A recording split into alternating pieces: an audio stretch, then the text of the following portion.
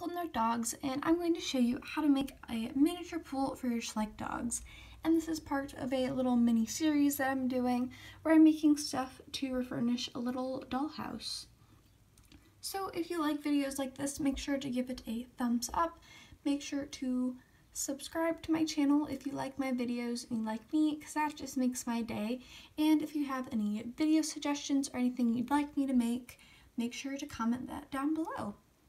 Okay, let's get right into it. So first, I'm just taking this plastic takeout box and I'm going to cut off one of the sides so it can be the bottom of my pool. After I chose my side, I decided that this is a bit too high for my taste and here's just a dog for comparison. So once you decide how high you want it to be. You can go ahead and mark that all the way around. Then you're going to want to cut all the way around on your line if you need to.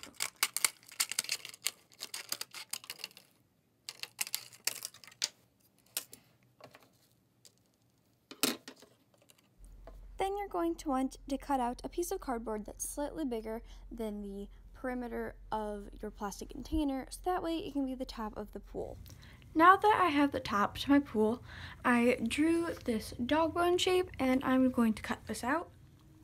So now that I have my top of my pool cut out, I drew this little dog bone shape and then I'm going to trace this out onto the cardboard and then cut it out.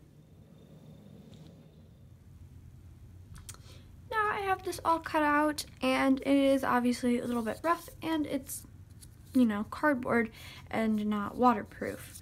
So we know that it fits good on the tub and I like the height of it and everything. So I'm going to line the back with some tape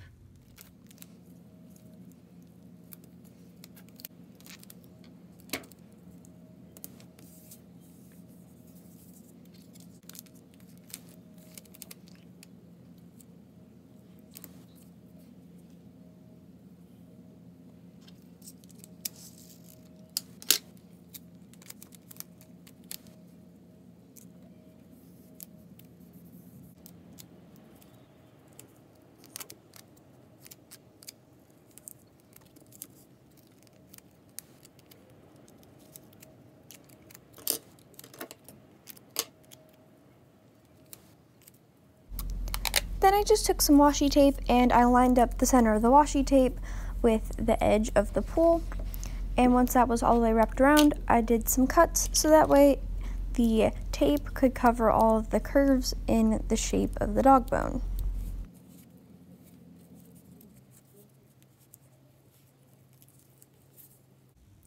Now, since I have my top of my pool, I'm going to take this pool tile scrapbook paper that I found and I'm going to trace out the outside of the dog bone shape so that way I can cover up the cardboard on the top.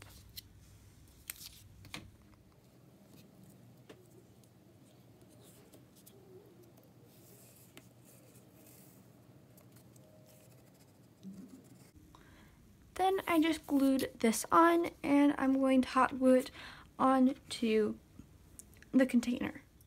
And now that we have this done, I'm just going to use some Mod Podge over the paper so that way if it gets a little bit of water on it, it's not that big of a deal.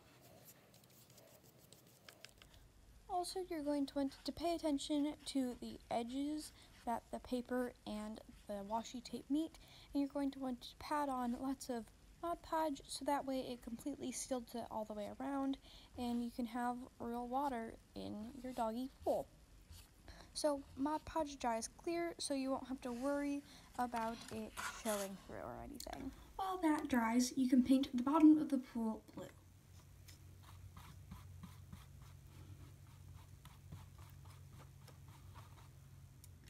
Cut and glue popsicle sticks so that way they can stick on the edges of your pool. And you're done.